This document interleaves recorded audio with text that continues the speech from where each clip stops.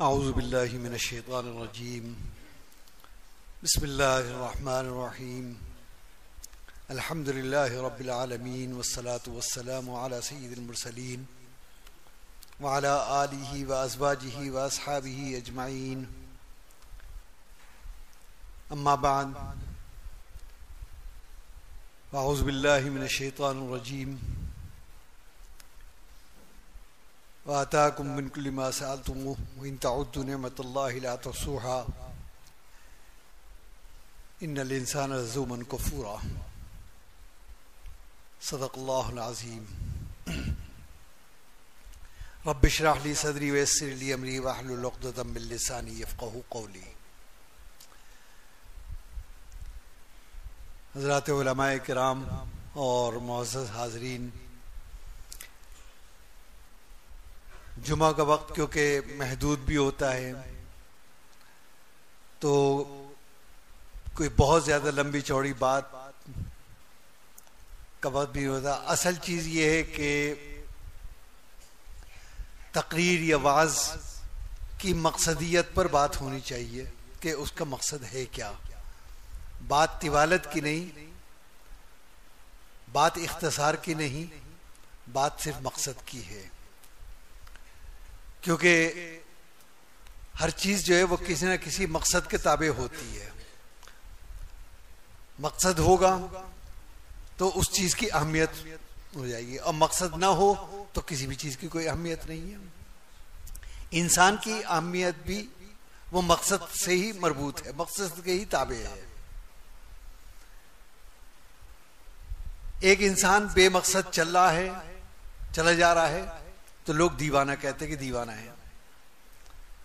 बखिलाफ इसके कि अगर वो किसी मकसद से जा रहा है तो लोग कहेंगे कि किसी काम के अक्लमंद है।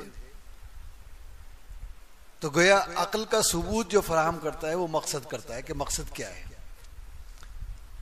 एक शख्स बेमकसद बोल रहा है तो लोग कहेंगे कि मजनून है।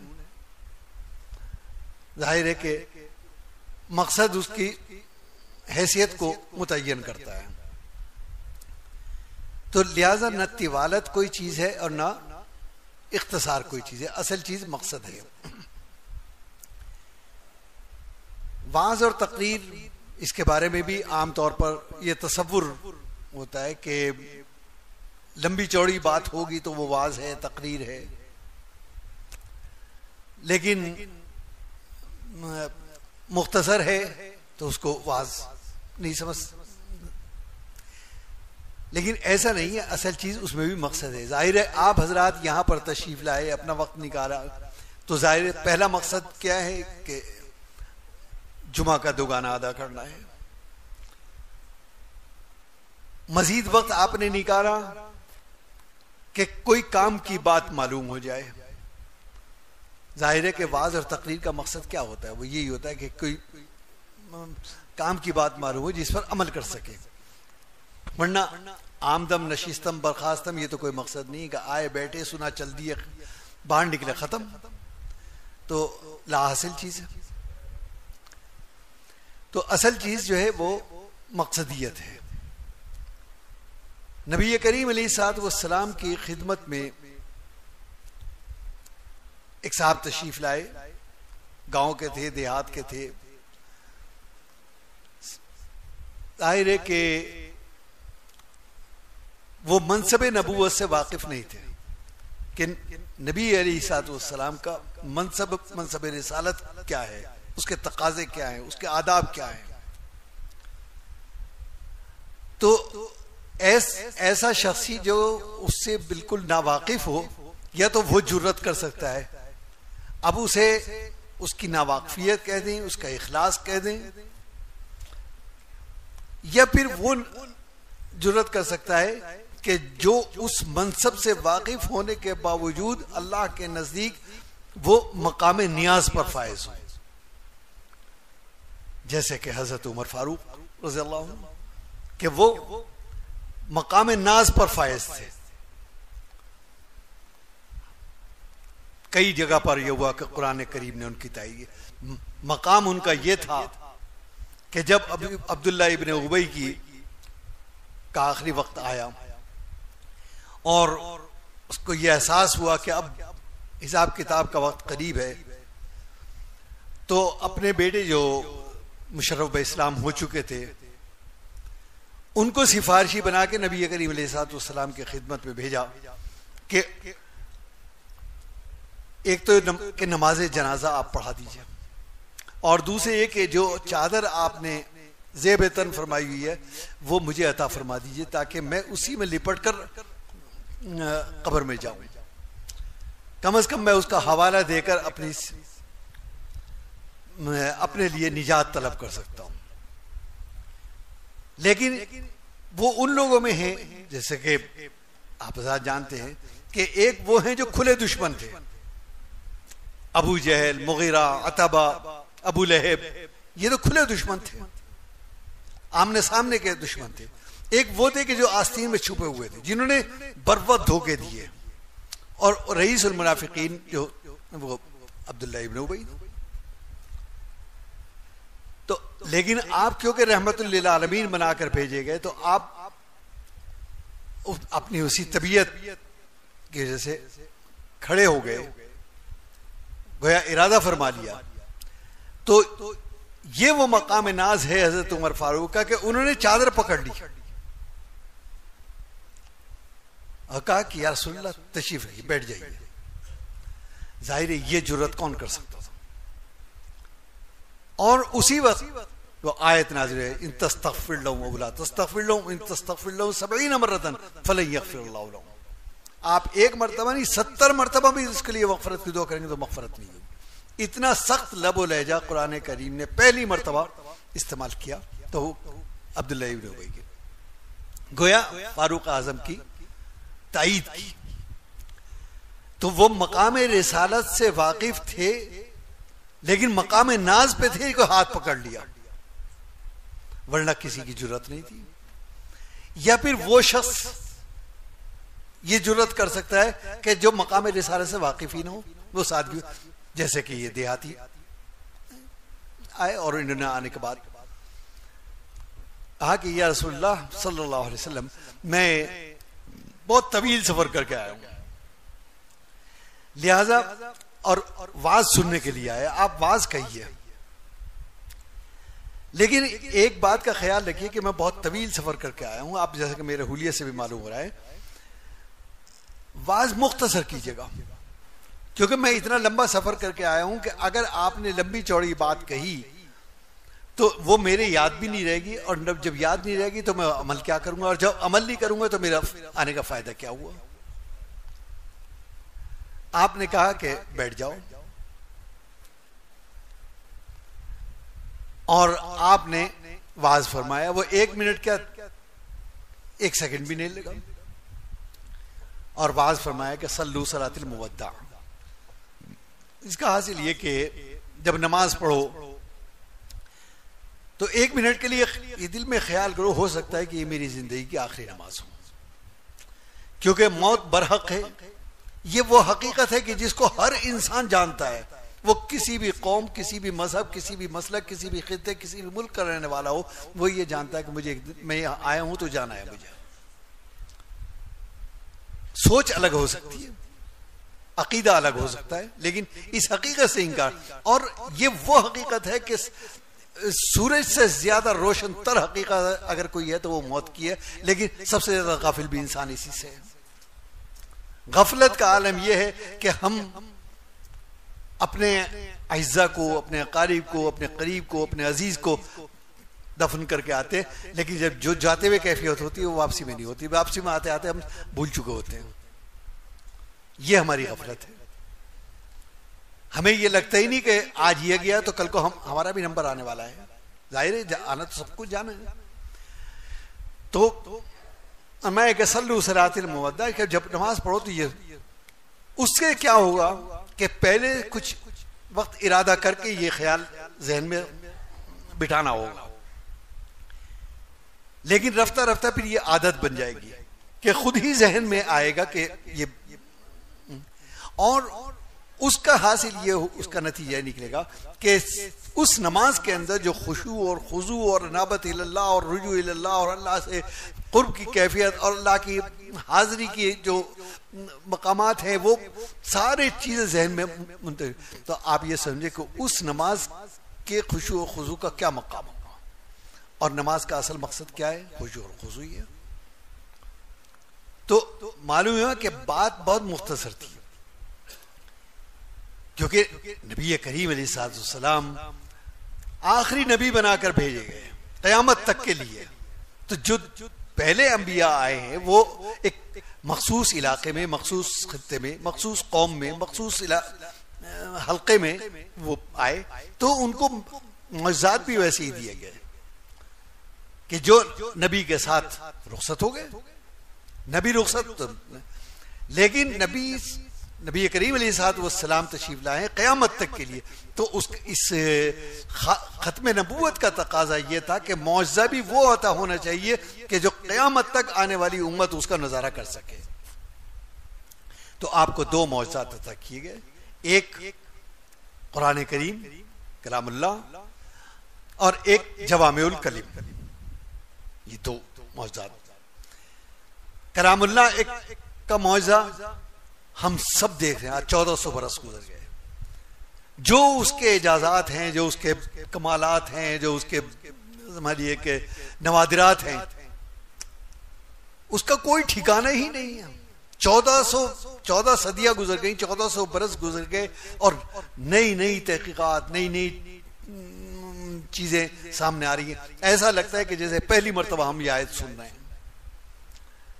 तो ये कुरान करीम का इजाज है। लेकिन जो खुला हुआ इजाज इसको हर आम आदमी महसूस करता है। ये तो वो है कि जिसको ओलमा जानते हैं कि इसके इसमें हिकमतें क्या हैं इसके खवास क्या हैं। लेकिन वो कि जिसको हर आ, खास व आम महसूस कर सके वो है हिफ्ज करना कि अल्लाह ताला इस कलाम अपने कलाम को नन्हे बच्चों के सीनों के अंदर महफूज कर देते अब आप सब कहिए कि साढ़े छह सौ, सात सौ सफे की एक किताब है। अजनबी जबान, जिससे दूर दूर तक भी वास्ता नहीं। मादरी जबान अलग होती है, लेकिन उसके बावजूद ये महफूज हो जाती है। ऐसे ही जवाम कलीम के बाद मुख्तसर, लेकिन उसमें उलूम और मारिफ इतने के जैसे कि ये कि अभी इस पे तहकीक करने वालों ने तहकीक की तो किताबें की, किताबें लिखी। तो असल चीज़ ये कि वो मुआवजा ही नहीं है, बल्कि उसको हम हर वक्त, हर पल, हर लम्हा महसूस करते हैं कि ये मुआवजा हमारे साथ, हमारी ज़िंदगी के साथ कदम ब कदम चल रहा है। क्योंकि कलामुल्लाह जो है, वो हमारी निजात का ज़रिया तो है ही। हिदा, राय हिदायत तो यही अलिफ्लाम जालिकल किताब हुदल वो हिदायत का रास्ता लेकिन वो हमारी गजाई ज़रूरत भी है। गजाई ज़रूरत कैसे है? कि उसके बगैर जैसे हम अगर खाना ना खाएँ तो क्या होगा? रफ्ता रफ्ता हमारी कुत कम हो जाएगी, बदन कमज़ोर हो जाएगा, और हमारी रूह हमारे बदन का साथ छोड़ देगी। यही होगा अंजाम। तो गजा का जो असल मंशा है और उसकी खासियत है, वो दो चीज़ें हैं। गजा का इतलाक गजा उसे कहते हैं कि इंसान की तबीयत के एन मुताबिक वो ऐसी गजा हो, जिसके अंदर कुत नमू भी हो कि वो उसमें बढ़ोतरी की कुत हो। दूसरे, उससे कभी जी ना होता है। हम बचपन से लेके और आखिरी सांस तक रोटी खाते हैं। लेकिन क्या किसी को यह सुना कि आज मेरा रोटी से जी उठा गया? उसी शौक से खाते हैं, उसी तकवीत से खाते हैं।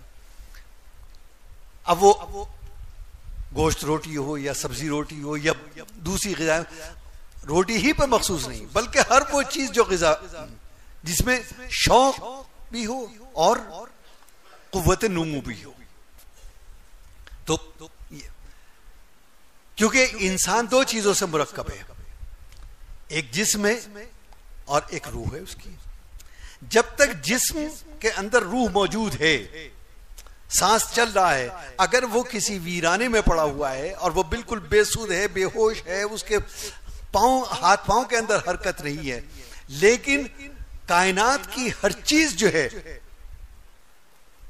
उसको ये इदराक है, अल्लाह की तरफ़ से ये इल्हाम है कि ये आज भी हम पर हमसे बरतर है क्योंकि अशफुल मखलूकत है, ये हमसे बरतर है ना ही तो कीड़े मकोड़े उसके बदन के अंदर घुसेंगे। ना ही धूप जो है उसके बदन में के अंदर बदबू पैदा कर देगी, ना ही हवा उसके अज्जा को मुंतशिर करेगी, लेकिन जैसे ही रूह अलग हुई तो वही कीड़े मकोड़े हैं, उन्हें वो हमलावर हो जाएँगे, वो नाक कान में घुस जाएँगे। तो उन्हें पता है कि जो असल इल्लत थी, असल चीज़ थी, वो इससे अलग हो गई है। अब ये अशफुल मखलूकत नहीं रहा। अब हम पे ये हाकिम नहीं है। तो गजा जो है, जिस तरह से बदन के लिए ज़रूरी है, कि इसकी तकवीत को बाकी रखने के लिए गजा ज़रूरी है। इसी तरह से रूह है, रूह को भी गजा चाहिए, लेकिन उसको उसको भी उसी तरह से तलब है। अगर उसको भूखा छोड़ दिया जाए तो वो भी कमज़ोर हो जाएगी। लेकिन हमारा बदन क्योंकि मिट्टी से बना है। खलकमिन तो हमारे बदन की ज़रूरत की हर चीज़ जो है वो ज़मीन से आ रही है। चाहे वो खाना हो, पीना हो, रिहाइश हो बूदोबाश हो लिबास हो, पोशाक हो, कोई चीज़ आप नज़र डाल लीजिए कि जिसका ताल्लुक हमारे बदन से है वो ज़मीन से पैदा हो रही है। क्योंकि वो हमारा हमारा असल जो है, हमारी असल, वो ज़मीन से है, ज़मीन से जुड़ी हुई है।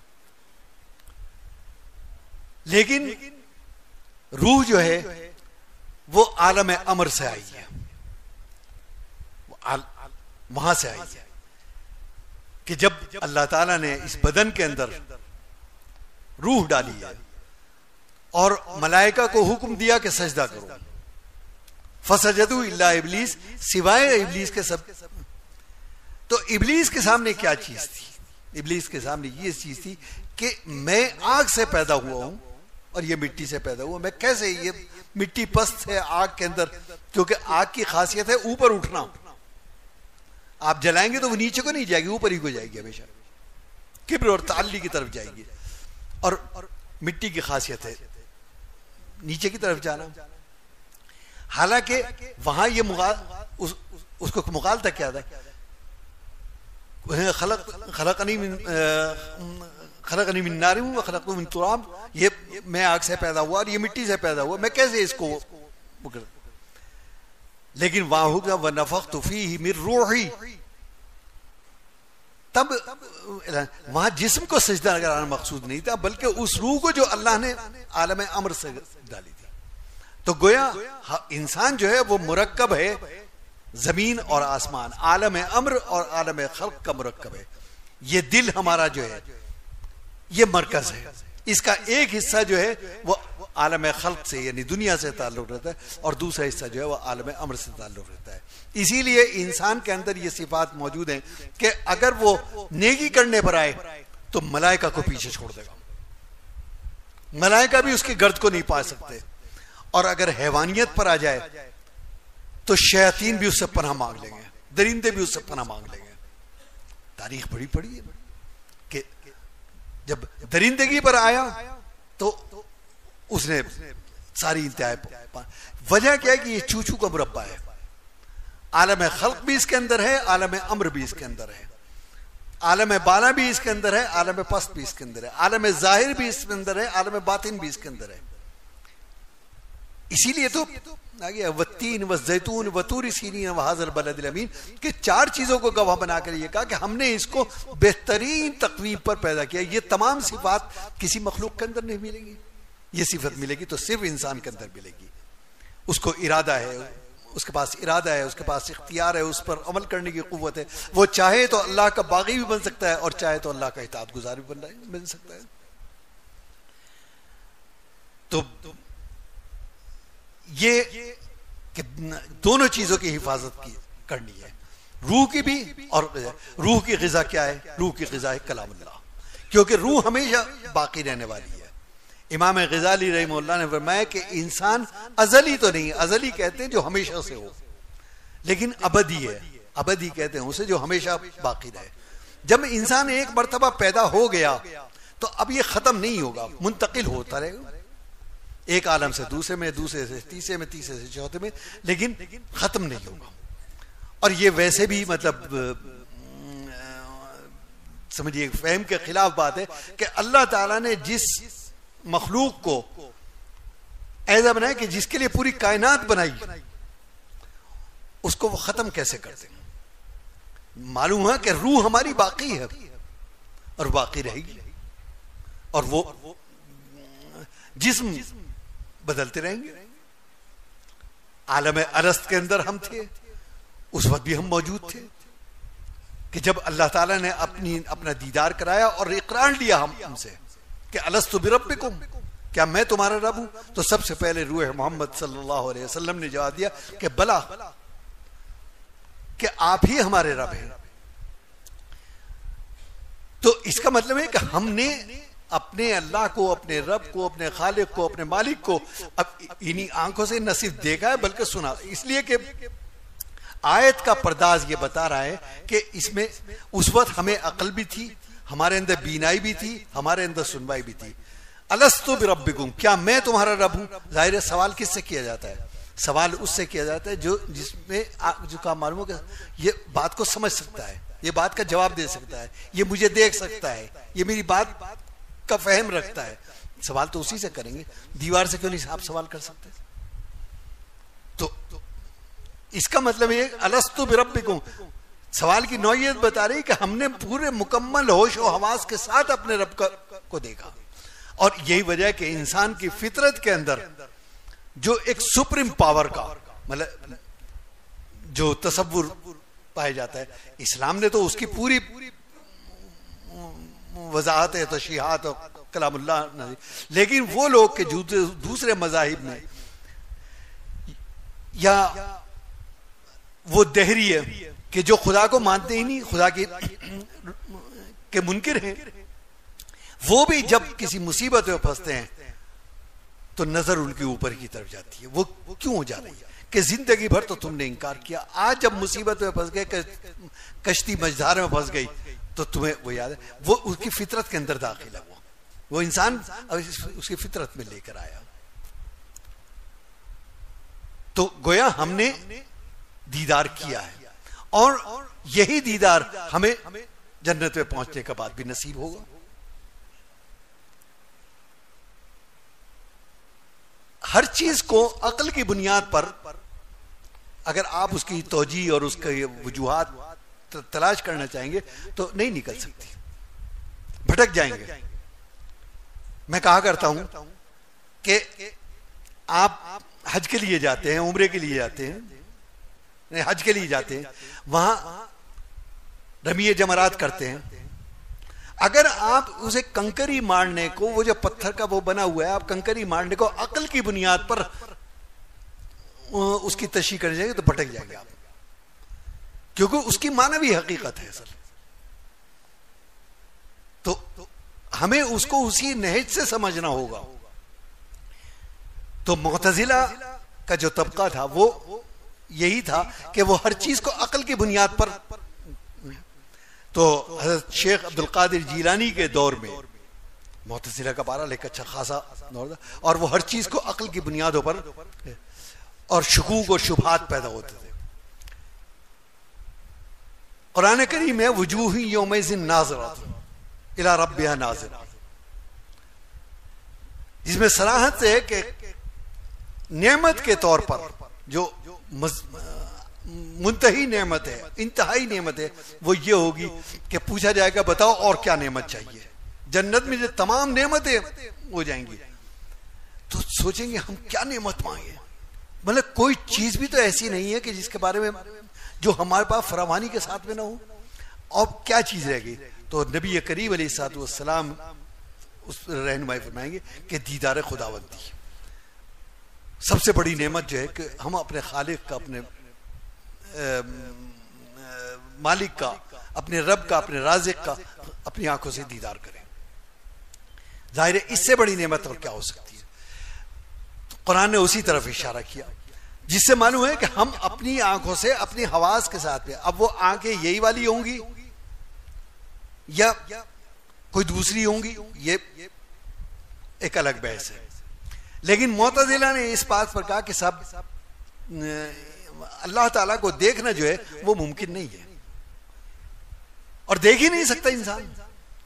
तो उन्होंने उसके ज़ाहिर पर नज़र डाली कि हम सामने देख रहे हैं। एक, हमारी आँखों का दायरा है कि हमें यहाँ तक नज़र आएगा बस। इससे ज़्यादा हम पुष्ट पर नहीं देख सकते। हमारे पीछे क्या हो रहा है? चुनाचे जब अकल की बुनियाद पर हो तो लोगों के अकायद के अंदर फ़र्क पड़ने लगा कि बात तो सही कह रहे हैं। ज़ाहिर अवाम तो अवाम है।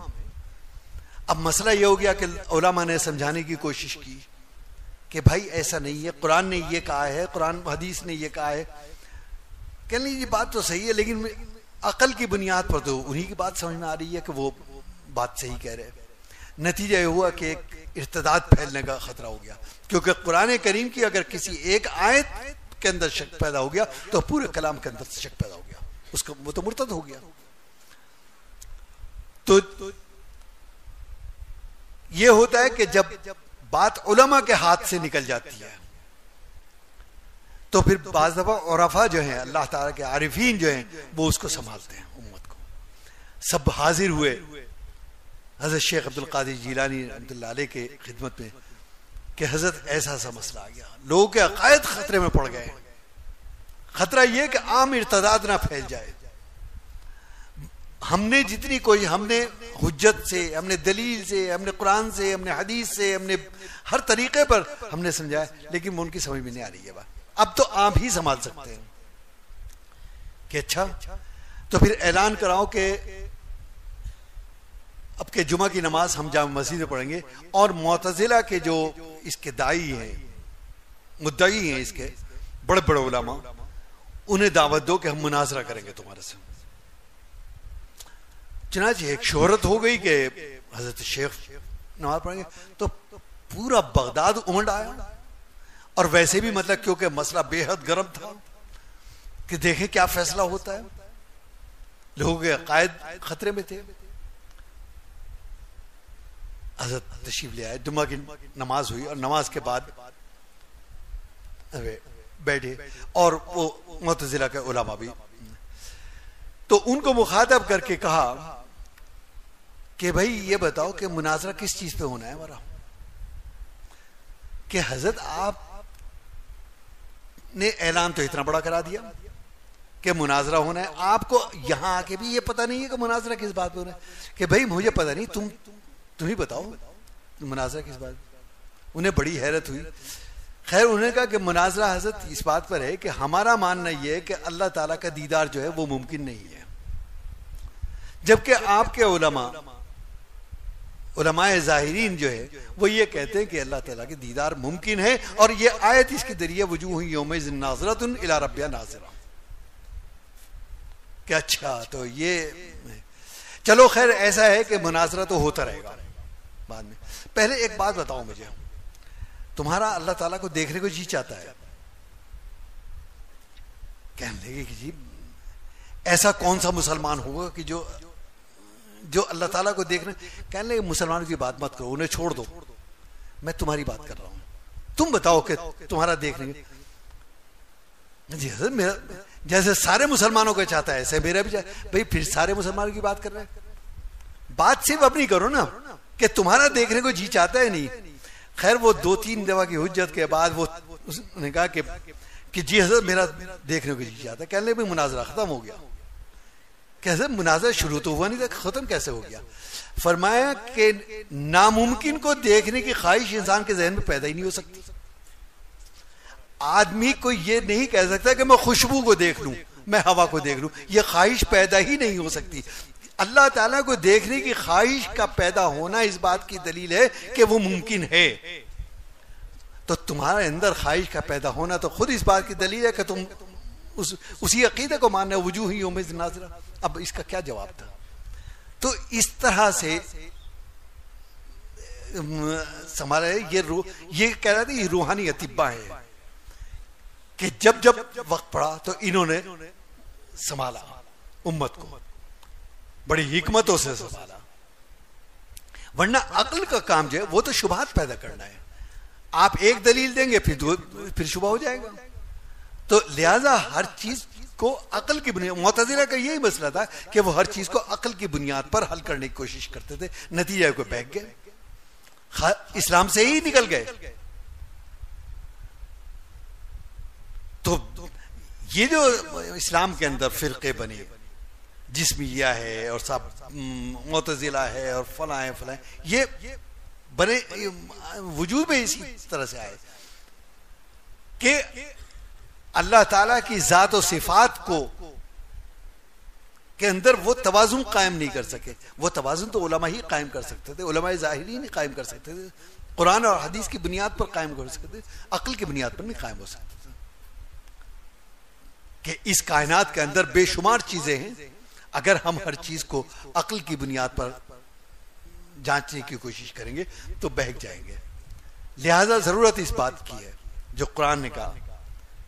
कि जो अल्लाह ने और अल्लाह के रसूल ने बता दिया, उसको ले लो और जिस चीज़ से मना कर दिया, उसको छोड़ दो। इसी में इंसान की आफियत भी है, इसी में उसकी निजात भी है, उसी में अल्लाह के फजल का दारो मदार भी है कि अल्लाह का फजल भी उससे होगा। क्योंकि सिर्फ़ अमल की बुनियाद पर बख्शिश नहीं होगी। पता नहीं, अल्लाह के यहाँ कौन सा अमल मकबूल हो जाए? असल चीज़ फजल है।